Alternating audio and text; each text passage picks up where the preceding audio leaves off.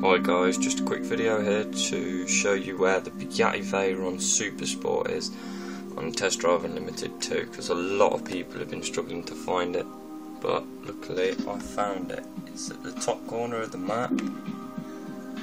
Up here and then once you're there. Go in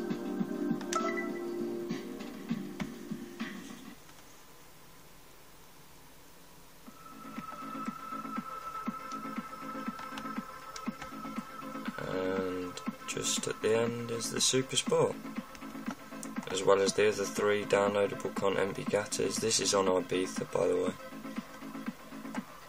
Plus, there you go. It's as simple as that and it costs 2.7 million. So, and I'll also show you where it is on Ibiza too.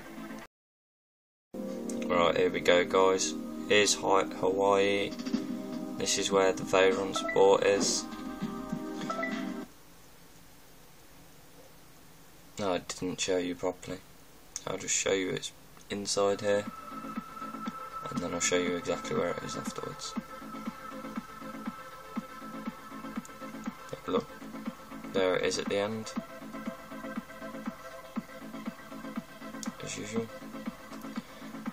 Now leave the shop and I'll show you exactly where it is.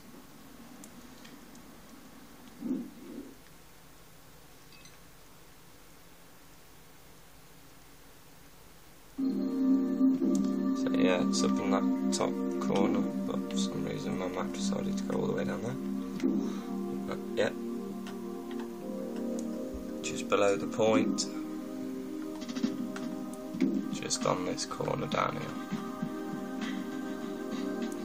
Right, I hope this has helped you guys as much as it helped me. And thanks for watching. Please don't forget to subscribe, like, favourite, comment, whatever you want to do. Cheers.